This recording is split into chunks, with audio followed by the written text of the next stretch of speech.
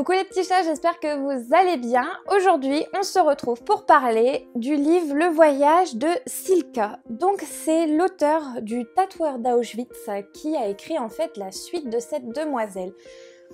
Tout d'abord, n'oubliez pas de vous abonner à ma chaîne, de cliquer sur la petite cloche pour avoir les notifications, de me laisser un petit pouce si vous avez aimé celle-ci et pourquoi pas de me un petit commentaire pour donner soit votre avis, ce que vous avez pensé du livre ou pourquoi pas de prochaines lectures. Donc, revenons au livre. Dans celui-ci, on va retrouver Silka. Donc, il faut savoir que moi, je n'ai pas lu le tatoueur d'Auschwitz. En fait, je m'en suis rendu compte trop tard que euh, c'était la suite. Il faut savoir que vous pouvez lire celui-ci euh, sans avoir lu le premier, puisqu'en fait, il reprend énormément de détails du tatoueur d'Auschwitz. Donc ça m'a posé aucun problème tout au long de la lecture. J'ai réussi euh, parfaitement à comprendre l'histoire et à voir euh, ce que l'auteur voulait nous transmettre. Donc comme je vous disais, on est sur la suite. Donc le tatoueur d'Auschwitz, on se situe à peu près à la libération des camps de concentration par les Russes. Et là, en fait, on va suivre la vie de Silka après la libération des camps. Donc cette jeune demoiselle, en fait, a eu 16 ans quand elle a été déportée le 23 avril 1942 à Auschwitz. C'est une jeune Slovaque. Donc c'est pas Auschwitz même, elle, elle a été à Auschwitz 2, donc c'est Biquenau. Euh, j'ai découvert tout au long de ce livre en fait que Auschwitz c'était, euh, c'était énorme. Il y a trois ou quatre à Auschwitz. Euh, on voit vraiment jusqu'où l'horreur a été, il y en a eu énormément. On va apprendre que dans le tatoueur d'Auschwitz, elle a dû un peu donner son corps en échange de sa vie. C'est-à-dire qu'en fait, elle va se faire violer par des hauts gradés. Donc c'est vraiment une horreur. Elle meurt de faim, euh, elle a froid, donc elle va devoir un peu ruser pour pouvoir réussir à survivre. Pour elle, son seul objectif, c'est de survivre tout au long de ce livre, en fait, vous allez voir, à un moment, on, a euh, eu une écriture euh, police normale et après, on va arriver sur une police en italique. Donc quand c'est des polices en italique, c'est des souvenirs, soit au niveau d'Auschwitz, soit encore avant, euh, dans sa famille. Donc à chaque fois, tout est bien noté avant le petit passage en italique, la date et le, le, lieu en fait où a lieu ce souvenir. Dans celui-ci, on peut se dire que au début, ça y est, la cruauté euh, envers cette femme, ce qui s'est passé pour elle à Auschwitz, c'est fini. Elle va pouvoir enfin reprendre une vie normale. Malheureusement, c'est pas le cas, puisqu'à la libération, elle va devoir euh, passer en gros, pas devant un tribunal, mais elle va devoir expliquer ce qu'elle faisait à Auschwitz. Et on va un peu la dénoncer et dire qu'en fait, elle couchait avec l'ennemi. Pour rappel, elle ne couchait pas du tout avec l'ennemi, c'était un viol. Donc du coup, c'est un peu horrible ce qui va se passer après, puisqu'on va la condamner à 15 ans dans un goulag. Elle va se retrouver euh, dans un endroit où il fait affreusement froid, les habits sont absolument pas confortables, on va leur réattribuer des numéros donc elle a peur de revivre les mêmes malheurs qu'elle a vécu à Auschwitz. En fait, c'est un peu euh, un éternel recommencement pour elle. Elle est libérée et elle repart dans un camp. Donc c'est un goulag, c'est un travail forcé.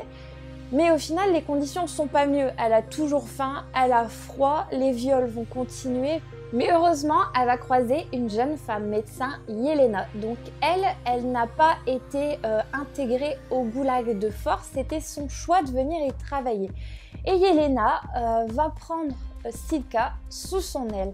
Elle va lui permettre de travailler à l'hôpital du camp et elle va absolument veiller sur elle tout le temps, ce qui va permettre quand même que ses conditions s'améliorent. Et Silka est tellement gentille qu'elle va en faire bénéficier les autres filles de, sa case en fait, là où elles sont un peu rangées au réfectoire. Voilà au niveau de Silka. Elle va faire d'autres rencontres. C'est vrai que euh, tout au long de ce livre, alors on nous explique bien sûr la cruauté, hein, euh, que ce soit au niveau des nazis, que ce soit au niveau euh, du goulag. En fait, on se rend compte que les gouvernements sont tous plus ou moins pareils. Ils savent à peu près ce qui se passe, mais ils ferment les yeux sur énormément de choses. Donc ça, on a un peu mal au cœur pour elle. Déjà par son jeune âge, On nous l'a décrit comme quelqu'un de petit, de menu, donc on voit qu'elle est assez en danger en fait euh, rapidement, qu'elle ne peut pas faire face en fait à la cruauté des hommes. Mais elle est quand même très courageuse car souvent euh, elle va endosser des responsabilités ou elle va prendre des décisions qui peuvent la mettre en danger mais pour sauver les autres ou du moins pour les aider. Donc on voit que c'est vraiment une femme très courageuse et tout au long du roman on va voir que les personnages leur disent toujours la même chose qu'elle est très courageuse et que euh, malgré sa petite taille, euh, ce petit bout de femme en fait va essayer de faire tout ce qu'elle peut un peu pour se racheter parce qu'elle s'en veut aussi de ce qui s'est passé à Auschwitz. Ensuite, au niveau de l'auteur, je voulais vous en parler parce que euh, il le dit dans le livre, hein, j'ai rien inventé, mais il va nous expliquer que voilà, c'est pour lui 15 ans de recherche de pouvoir faire ce livre, puisqu'en fait, après le tatoueur d'Auschwitz, il a eu énormément de mails et de demandes pour savoir ce qui se passait pour Silka après les camps de concentration. Il faut savoir que la plupart des personnages sont vrais, les histoires sont vraies puisqu'il a fait quand même 15 ans de recherche euh, pour pouvoir peaufiner son roman. C'est pas réellement un roman historique puisqu'à côté on a un petit peu, euh, c'est un peu romancé, c'est un peu de la fiction, mais euh, malgré ça, pour moi, je trouve que ça reste quand même un roman historique parce qu'on a énormément de détails et on apprend des choses, personnellement, que je ne savais pas. Donc l'auteur, pendant tout ce temps, va essayer de savoir, en se rendant sur place, euh, dans la ville où Silka a vécu, où elle a vécu après le goulag, de savoir ce que les gens disent de cette euh, jeune demoiselle, euh, savoir ce qu'il en est, voilà, ce qu'ils en ont pensé. Il va avoir un peu tout et son contraire, donc il va devoir faire un tri pour pouvoir nous le retranscrire dans son livre. Il va quand même nous parler de faits qui ont jamais été encore vraiment relatés, euh, soit par les films ou par les livres. Donc on va en apprendre vraiment plus sur les conditions de vie des femmes dans les camps parce que euh, souvent, quand vous regardez les films de guerre, on parle souvent des hommes, des soldats, mais on ne parle pas des femmes. Qu'est-ce qu'elles vivent, comment elles vivent, ou plutôt survivent dans ces camps. Donc ça, j'ai aimé ce, côté euh, un peu historique. Après, comme je vous ai dit, je n'ai pas lu le tatoueur d'Auschwitz, mais après la lecture de celui-ci, qui est quand même très dur, parce qu'il faut quand même le dire, en étant une femme, ce qu'elles vont vivre, on se dit, voilà, si j'étais à leur place, euh, j'aurais vécu un enfer. Comment j'aurais survécu Comment j'aurais pu faire comme Silka, réussir à tenir, parce que c'est vraiment euh, un exploit surhumain pour elle. Et bien sûr, euh, ce que, j'ai trouvé intéressant par cette écriture euh, simple, avec des mots qui sont quand même euh, bien trouvés. il nous fait ressentir ce que Silka a ressenti. Donc, par moments, c'est quand même triste. J'ai une petite larme. Enfin, même si on le sait tous qu'à cette période-là, ils ont eu euh, des conditions de vie affreuses. On le sait tous plus ou moins ce qu'ils ont vécu. Mais le fait de le lire, qu'on nous dise, voilà, ce sont des faits réels, je trouve ça vraiment affreux. Euh, après, il va faire des pauses. Hein. On va pas avoir que euh, des, choses affreuses à chaque fois. On va avoir des moments doux. la moindre petite chose, par exemple une naissance au goulag, ça va rendre de la légèreté en fait à ce livre.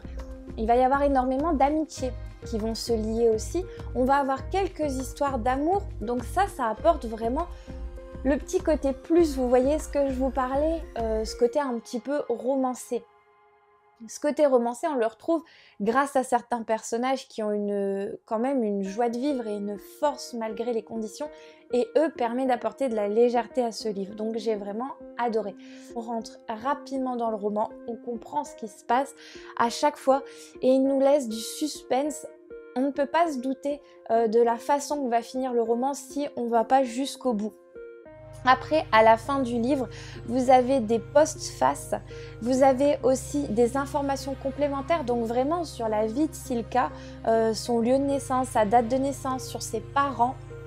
Et vous avez aussi donc une autre partie, euh, note de Ayrton Morris, donc qui est l'auteur, où là, il va nous expliquer un petit peu euh, comment sont venues ses recherches. Voilà pour ce livre, euh, j'espère qu'il vous a plu. J'ai oublié de vous dire, il fait en tout, hein, en comptant euh, les, la, comment la postface, etc. Il fait 412 pages, mais euh, je l'ai dévoré, si je ne dis pas de bêtises, en 3 jours. Tellement on a envie d'en savoir plus, même si je vous disais, c'est un côté quand même assez dur, assez cru. Voilà, c'est super bien écrit, vous pouvez y aller, c'est euh, un coup de cœur pour moi cette année. Bien sûr, je l'intègre aussi au challenge de Mademoiselle Farfal dans la catégorie numéro 37, où il faut euh, que ça se passe pendant la Seconde Guerre mondiale. Donc comme je vous ai dit, c'est après la libération des camps. Mais dans le livre, on fait référence énormément euh, au camp de concentration qui est à Auschwitz. Donc il intègre parfaitement la catégorie. Voilà les petits chats, j'espère que vous allez bien, que la vidéo vous a plu et je vous dis à très très vite, bisous